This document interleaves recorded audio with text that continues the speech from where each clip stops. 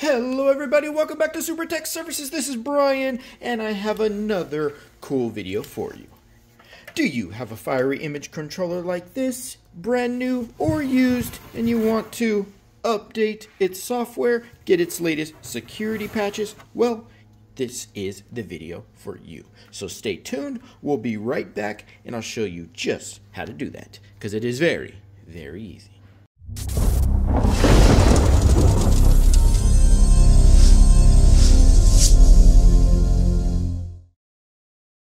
Okay, like I said in the intro, do you have a Fiery image controller that you just want to update? We do, so we're going to get started. Now, I'm going to assume that you already have your Fiery up and running, plugged into your copier and ready to go. If you don't, watch my other video on how to set up a Fiery and uh, get that going first. This is just how to get the security updates. Okay, so first things first, you want to have a working Fiery that's already set up. This video is not for that. I already have a video on how to set up, uh, set up a Fiery. So I'm assuming you already have a Fiery that is up and working. All you need is the cable uh, connected to the LAN port. Don't worry about the copier. That's all you're going to need and just make sure that it is set up because we are going to need the IP address. And if you don't have the IP address, we're going to have to run the setup for that and I'll show you how to do that. So just make sure everything's nice and plugged in there and then press your little green button there. Let's get started. And on the copier end, turn that on as well. Once everything boots up, we'll be right back. All right, now that we got our info tab right on the screen there, and don't worry about any warnings or anything like that. So we just want to get an IP address for the first time. So that's all we want to do is bind it. So you can do this by going into run setup, continue to setup, press that bottom right button there, and it's going to go ahead and turn off for a second, then turn back on. So you'll see that the info is going to disappear, and then it will come back. So as soon as that comes back, I'll be right back, and we're going to enter in the password. Okay, info is back. Now it's going to pop up with this screen. Be fast. Password is fiery.1. And then hit enter. Now you'll see this here. So you're just going to do network setup protocol setup, IP version 4 setup, and then Ethernet setup. Enable auto IP configuration, that's fine unless you want to do a static. Just for this video, we're going to do DHCP. And yes, here for the gateway. Obtain IP for engine, that's fine too. And now we're just going to use the top button to exit, exit, and save changes, yes. Okay, and then exit setup. Now it's going to reboot the system one more time. It takes a couple minutes. Once we come back, we should have an IP address. All right, now info is back. We should have an IP address, so we're just going to go to menu, print pages, configuration.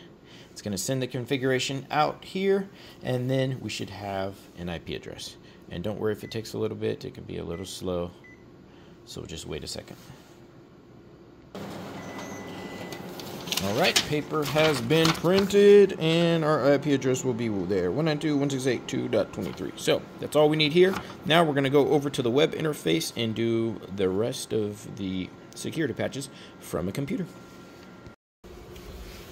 Okay, so from the computer, we're just gonna open up a browser and then type in what the IP address was, which is 192.168 dot two dot twenty three. Just like that. That will be the pop-up that you get. Real easy looking menu there. You have downloads.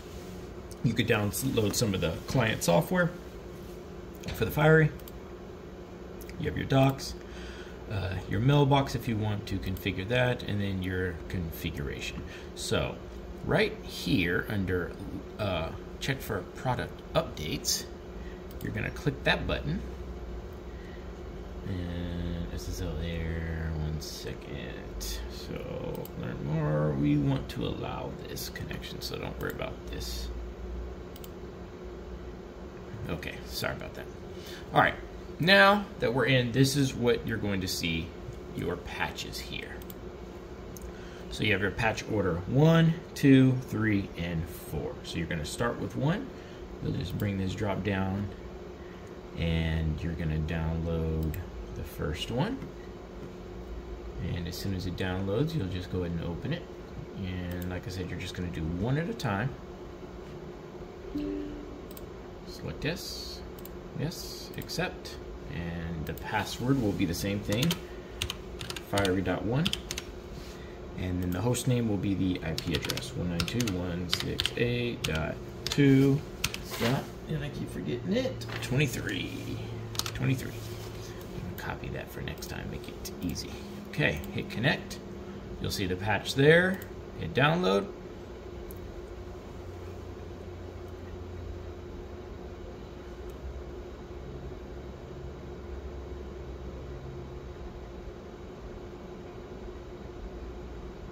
Perfect. Really quick. Then you just hit next, and you'll see reboot. Just leave reboot selected. That's fine. Let's. Uh, we want to reboot it. Just hit finish. Okay, the fiery, as you can see, it'll have it'll be flashing some different numbers there, and it'll go back to zero zero. Just give that about two three minutes. Uh, when the patch is done installing, uh, the fiery reboots, and then we'll come back to the main screen here and we'll go ahead and you'll see idle that uh, will pop up and we're actually going to get a little printout. The printout will let you know that the patch has been installed. So we'll wait on that and I'll be right back.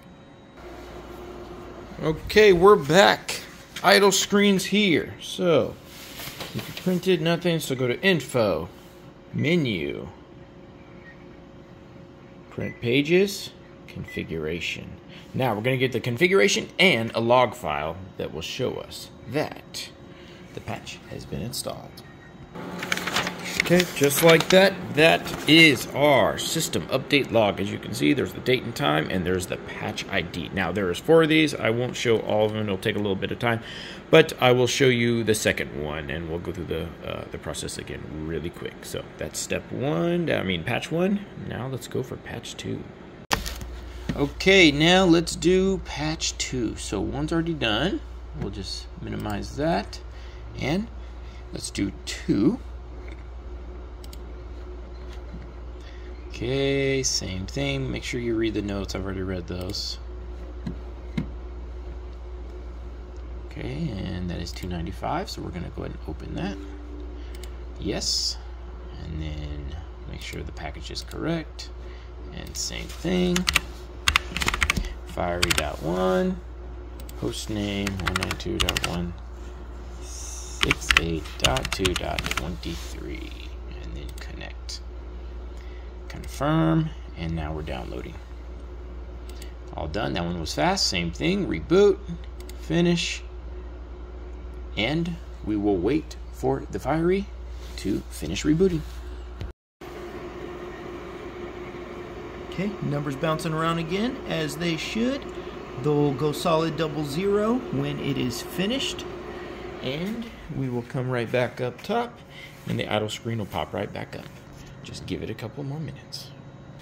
Okay, just like that. Number two, same thing, menu. Print pages, configuration, and let's check the log. All right there it goes and you can see there's the top one and then the bottom one so you can see so far it's taken two. We have two more to go but i'm not going to show those. So you guys i'm going to go ahead and end this video. Thank you so much for watching. How to update your fiery for its security settings. Now every fire is different. Yours may need only one patch. Maybe yours needs 10 but at least you will know how to do it. Thank you so much for watching. We'll see you on the next video. Bye bye